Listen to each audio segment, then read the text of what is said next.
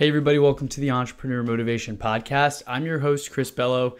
And on today's episode, I want to talk about how I grew my podcast to almost 40,000 downloads a month in about two and a half years. I know I've gotten a lot of questions from other podcasters that I've talked to, as well as people in the audience who have sent me DMs on Instagram that were just curious to know how I did it and what my secrets are and any advice that I have for them as well.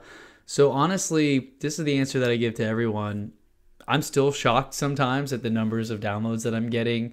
And it's been kind of a stab in the dark. I always preach taking action, massive action, less dreaming, more doing. And that's exactly what I did. I just put it on LinkedIn one day and on social media, on my Facebook, that I'm going to start a podcast. This is episode one. Please check it out. I'm going to be releasing a podcast once a week. And here we are, two and a half years later, and I'm still doing that. And I've actually even stepped it up to two episodes a week now one on Monday release and one on Thursday release. So I've started to put out even more content. And I think that's the most important thing is that I've stayed consistent.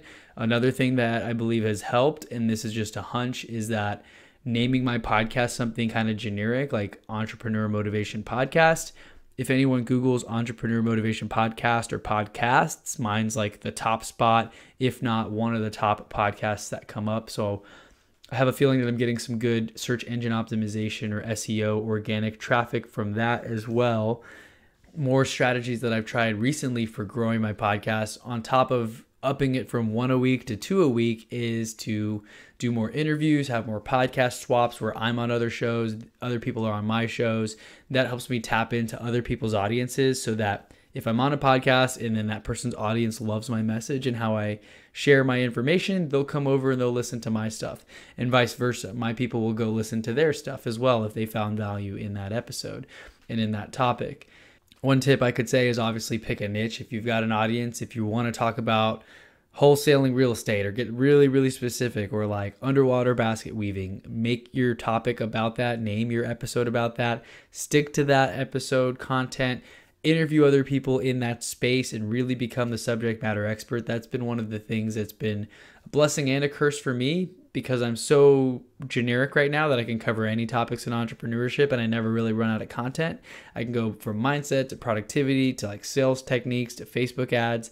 But on the downside is that I have a lot of people who come into my audience, come into my my email list and then I'm not really sure how to speak to them or what exactly it is that they're looking for because they might have found the five productivity hacks I recommend freebie as cool, they might not want to hear about my every single episode that comes out and they'll unsubscribe from my list because the value is unclear of like what I'm providing and I'm still figuring that out myself to be honest. So tips for coming up with content. Uh, this is something that you kind of just learn with as you go and you practice and you'll get better over time. But when I first started coming up with content, it was very difficult. I would type out a blog post. It would be one or two pages long. And I would literally, I wouldn't even record the video at first. I would just record the audio and I would read the blog notes that I typed out word for word off the screen. So I'd literally be reading and it would be like, on today's episode, we're going to be talking about how to increase your productivity. And that's what made it monotone a little bit. It's a little hard. I've gotten better at not being monotone over time and over practice. But at the beginning, it was way more difficult to be excited and have energy if I was reading off of the paper. So right now, I've got no notes or anything. I'm kind of glancing down at my laptop here because my my camera is connected to it, and I can see make sure that the camera still looks okay and that I'm talking and I'm centered and all that stuff. But in any case, that's all things that I've learned over time. I don't have a very fancy setup. It's just my little office here. I've got the cool vision board on the board. I've got some books behind me my desk is a little messy. I've got to clean it up, honestly. And I just sit here, turn the camera on, turn the microphone on, use Logitech webcam software to record a video, drop that into Adobe Premiere. I'm paying $20 a month for that. But the webcam is like a hundred bucks. The podcast mic's maybe like 200 bucks. And the software comes with the webcam. I'm just recording directly in there. I drop the video into Adobe Premiere, which I'm now paying $20 a month for, and it's super worth it because before I was using some free tools and it would have a little thing at the beginning if I converted the MP3.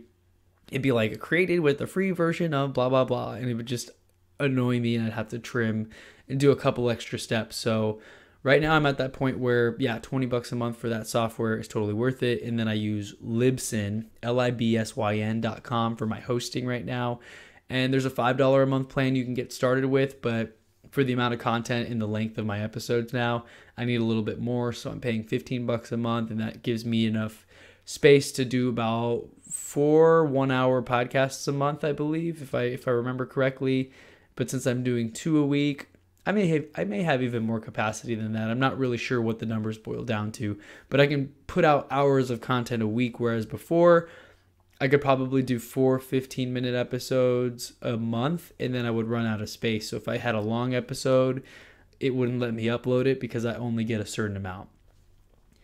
And I think I forgot to mention that over time, obviously, you get better, you continue to practice, your speaking improves when it comes to creating content, all I do is brainstorm a topic that I want to talk about, and I might do a little bit of research and pull a couple bullet points or something from websites.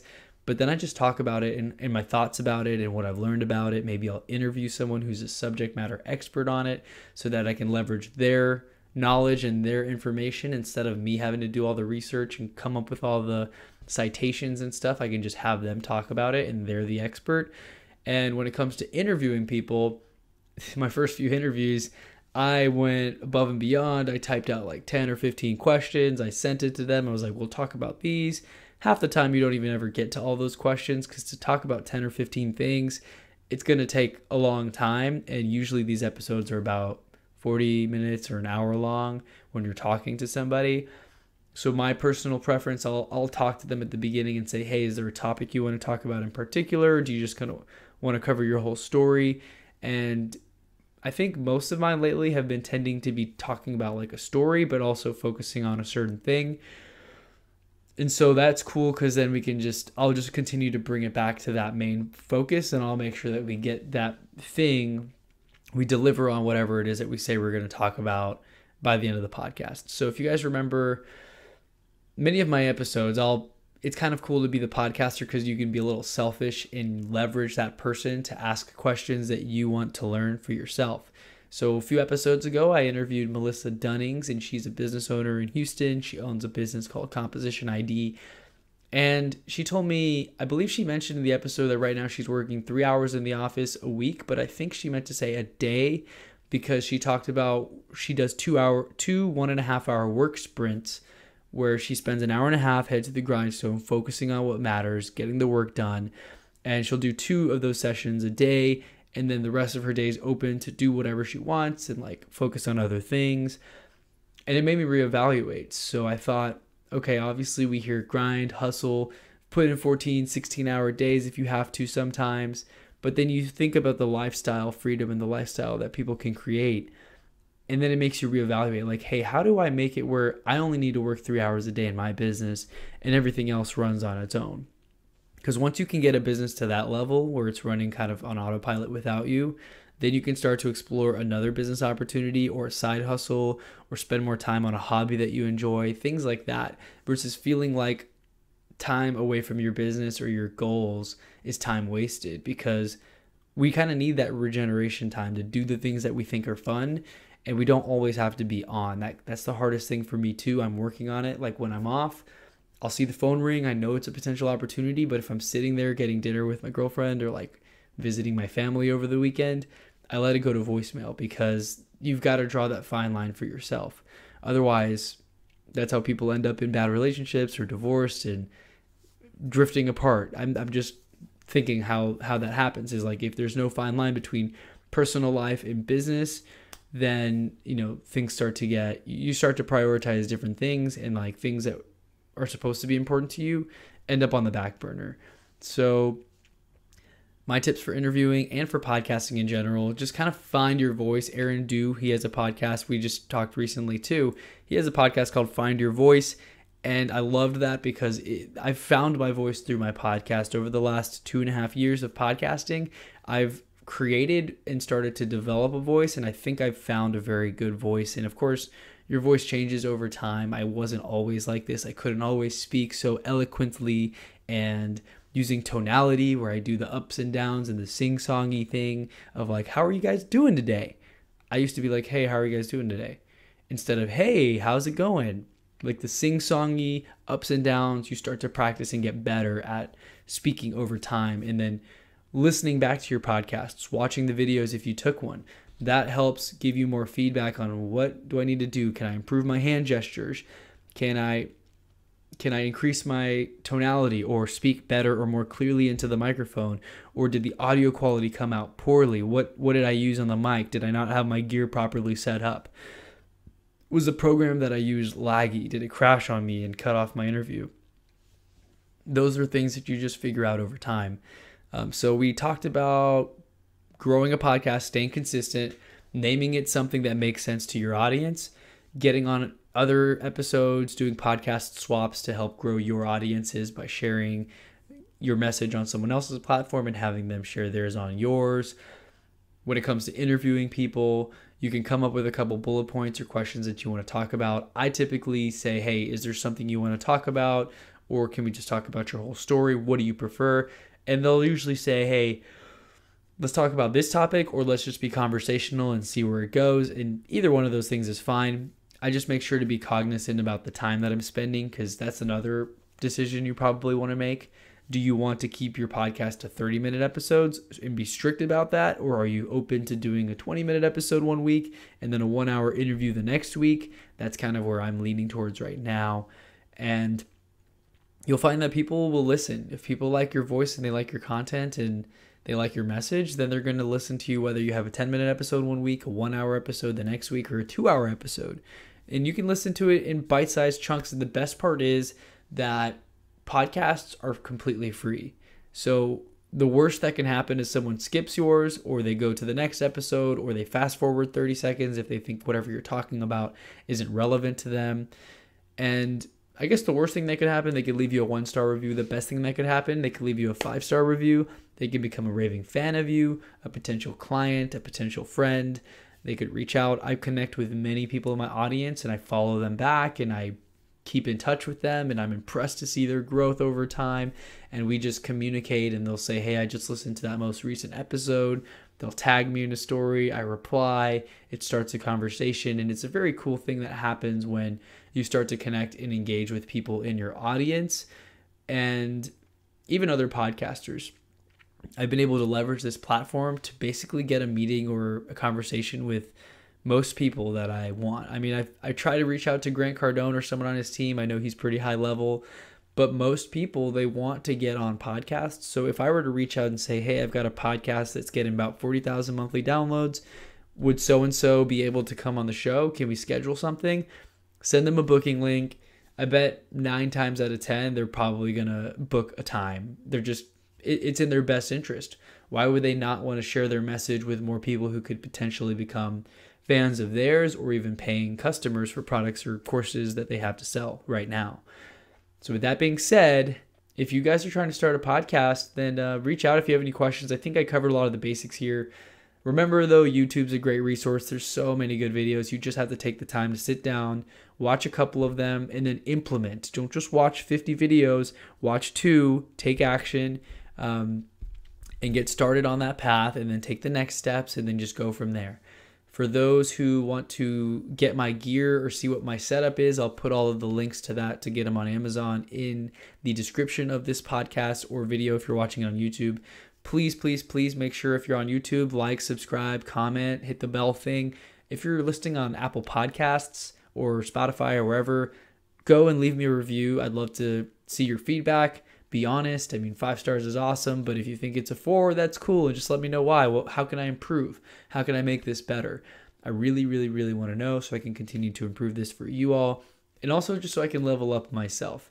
So, hope you all are doing well. Wanted to give a quick note. I know things are a little crazy out there with the whole coronavirus and the global, uh, global people freaking out and toilet paper running out and stuff. So, just pay attention to where you get your news from. Make sure that you're looking at credible sources and statistics and facts, not just the fear mongering and the opinions and the things that people post on social media and stuff sometimes. Because it's important, I think, to make sure that you've got your facts straight and obviously exercise caution. make sure to read up on like okay wash your hands don't go to these places in public try to minimize your social interaction and play your part just to make sure that healthcare systems and stuff are aren't overwhelmed and that you're not the cause of a an elderly person or a person with a weaker immune system in your life getting sick and potentially uh, losing their life due to this virus going around. But that's just my two cents. I don't know if it's a conspiracy theory. I don't know. There's claims of people having manufactured this as a weapon, uh, weaponized virus, or all kinds of things. And it's crazy with the media and stuff today. You never really know what's true and what's not, and what's overhyped and what's actually there to be afraid of. And that's kind of one annoying thing is like the boy who cried wolf, right? I, I never know when to believe, like, is this super severe or is it not? And I guess uh, time will tell with this thing, just like with anything else, we'll find out. Um, and hopefully it's not too late, right? Hopefully we find out the right moves because I value my health. I want to make sure that I'm in the best shape. I don't want to have any sicknesses or things that could affect me permanently if I can prevent it, right? So I just want to make sure to do what I can um, with the best information that I have available to me to take care of my family, my friends, and just let people know kind of what I'm doing with what I've learned. And I think I shared all that stuff with my morning routines, my meditation, um, green drinks that I drink, like a little green spinach and stuff in the morning. I'm constantly learning more and trying to get better with my health and with what it is that I'm doing in my life. So, with that being said, hope you all enjoy this episode, and I will talk to you on the next episode of the Entrepreneur Motivation Podcast.